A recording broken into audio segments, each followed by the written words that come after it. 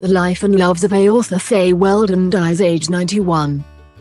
Author Fay Weldon, known for works including The Life and Loves of a She-Devil and Praxis, has died age 91. The novelist, playwright and screenwriter's body of work includes more than 30 novels, as well as short stories and plays written for television, radio and the stage.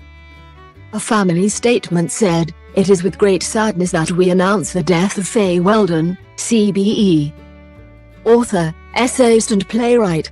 She died peacefully this morning the 4th of January, 2023. The writer previously told her readers in a statement posted on her website that she had been admitted to hospital with a broken bone in her back and then with a stroke.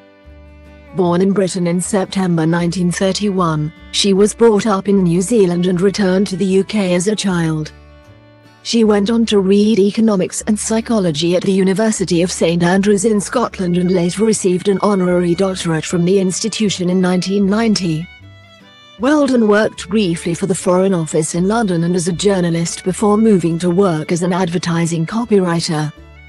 She left this career to focus on her writing and published her first novel, The Fat Woman's Joke, in 1967.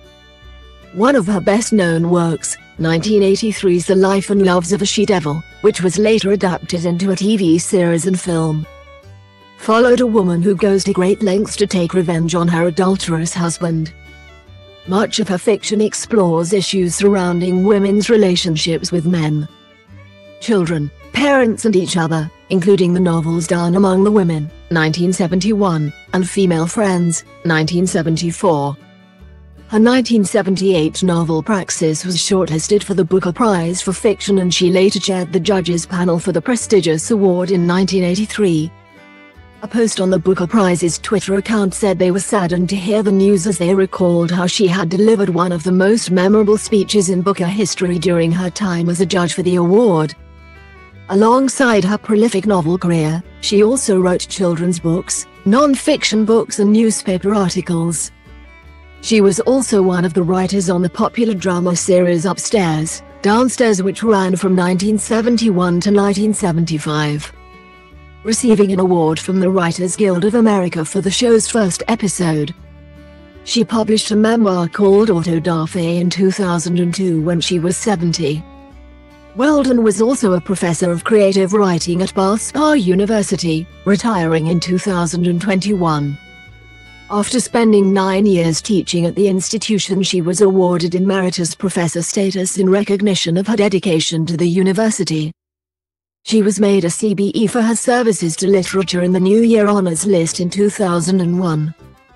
Leading literary figures were among those who paid tribute to Weldon following the news, including Chocolat author Joanne Harris, who tweeted, R.I.P. Fay Weldon, what a loss, and what a remarkable woman. The Rev. Richard Coles also revealed he took her Holy Communion as he remembered the late author.